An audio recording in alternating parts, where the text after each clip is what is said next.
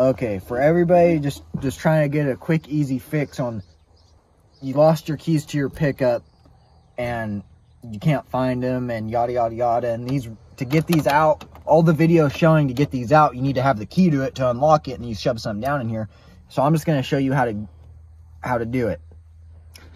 So this so i bought this i bought this cylinder right here for this right? That's the key that goes to it. Brand new brand new what i did was see the steering wheel's locked right here and i jammed it in there took this took this piece off it got it out of there grabbed it with some with some pliers and snapped it like that and as hard as I could and broke the internals. Now this key that is not originally for it works.